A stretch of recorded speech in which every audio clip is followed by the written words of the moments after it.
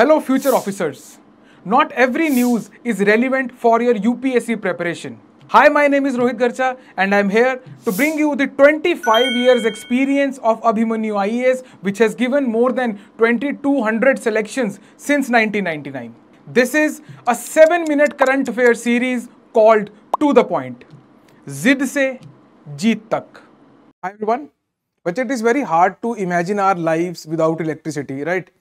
Uh, अभी आप जब वीडियो देख रहे हैं जिस डिवाइस का यूज़ कर रहे हैं that also requires electricity lights ये जहाँ पे मैं रिकॉर्ड कर रहा हूँ this also requires electricity that means कि हमारी इलेक्ट्रिसिटी की जो डिमांड है um, ये अब नेसेसिटी है। ये एक लग्जरी ना रह के अब ये एक नेसेसिटी में कन्वर्ट हो चुकी है and the demand is bound to increase अलग अलग एजेंसीज आपकी वर्ल्ड बैंक और आपकी आई ए ई ए राइट और इसके अलावा बहुत सारी ऐसी और एजेंसीज हैं जिन्होंने इसके ऊपर स्टैट्स दे रखे हैं कि एनर्जी की जो डिमांड है वो किस सेंस में आगे जाने वाली है आगे right on the other hand हमने इन्वायरमेंट का भी ख्याल रखना है right that energy should be sustainable right it should not harm the environment right ऐसे के अंदर upcoming technologies which are renewable in nature right which are less carbon intensive which releases which pollutes the environment way lesser than the conventional sources ये हमारे news के अंदर अब जैसे जैसे आपकी उसकी डेवलपमेंट होती रहेगी वैसे वैसे आपको ये टॉपिक्स आते हुए दिखते जाएँगे राइट और वैसे वैसे ही यूपीएससी भी इसको उठाता रहेगा इस टाइप के टॉपिक्स को आगे ले जाता रहेगा।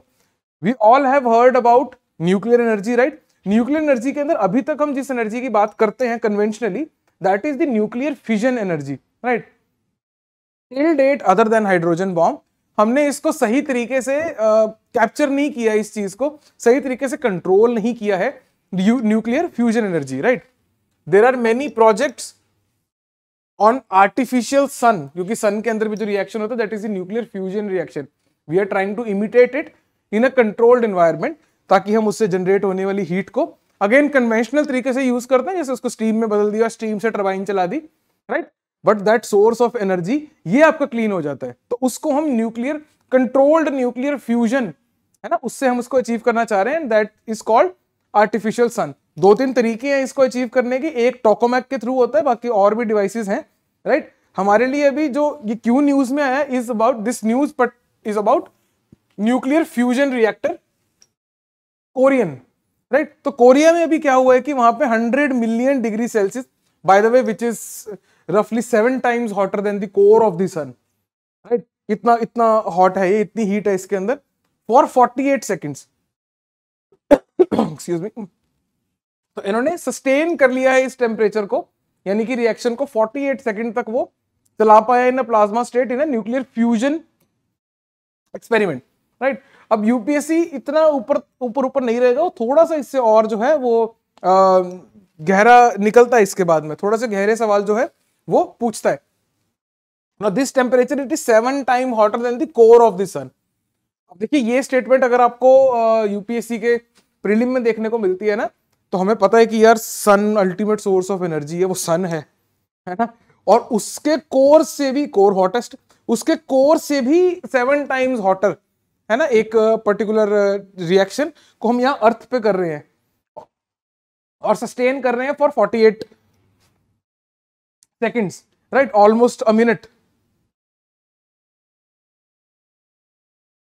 right चलिए थोड़ा सा और देखते हैं इस टेक्नोलॉजी के बारे में। डिस्क्रिप्शन हल्का सा मैं आपको ओवरव्यू दे देता हूँ। हालाँकि आपको पता ही होगा a nuclear reaction is the process in which two nuclei or a nucleus and an external subatomic particle collide to produce one or more new न्यूक्लियट्स ठीक है जी?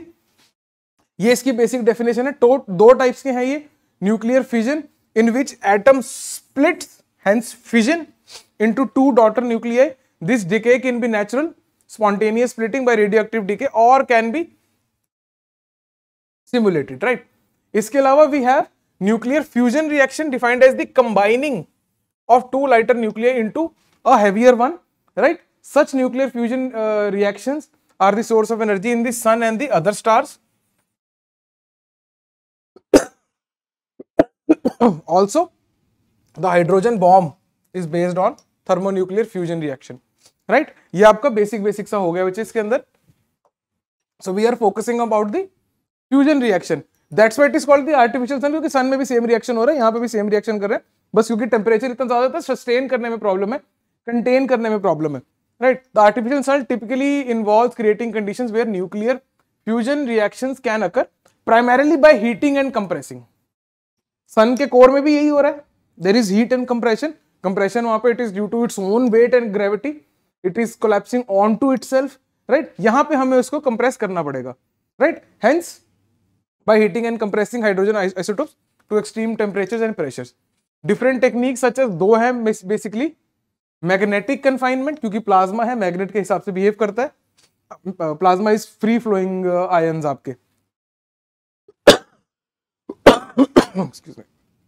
और the inertial confinement like in laser fusion right inertia के base से उसको confine किया जाता है। The goal is to sustain control nuclear fusion reaction releasing vast amount of energy this particular tokamak it is called K star Korea superconducting tokamak advance research ये एक nuclear fusion reactor है बच्चे। Again same बाकी सब बातें repeat सी हो रही है धीरे धीरे right let me tell you about a project which is going on इसमें बहुत सारे कंट्रीज़ की कोलेबोरेशन है।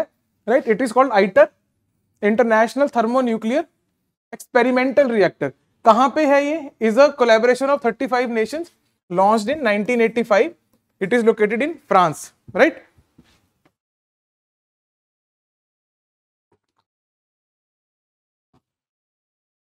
it aims to build world largest tokamak tokamak मैंने आपको बता दिया अभी कि मैग्नेटिक उसके हिसाब से वो एनर्जी जो रिएक्शन है उसको सस्टेन करने में हेल्प करते हैं।